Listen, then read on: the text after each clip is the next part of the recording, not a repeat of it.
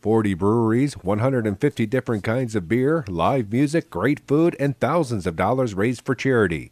That is how to describe the Keweenaw Brew Fest coming to the East Houghton Waterfront Park this Saturday. The breweries that are involved are all breweries that sell through distributors. Uh, we have breweries from all over the country uh, Budweiser, Miller's, Coors, uh, a lot of smaller breweries. Petoskey Brewing is coming this year, Sheboygan Brewery our own local Upper Peninsula Brewery, the Keweenaw Brewing Company, as well as many other big names and littler names. More than $50,000 has been raised for the Keweenaw Community Foundation over the first three years, and the community is coming together once again to make the Brewfest a success. This year we're going to have almost 100 volunteers, and what's exciting for me is the large number of volunteers that want to come back. Uh, they're calling me already in March and April asking when is Brewfest going to be. They want to be sure they're here.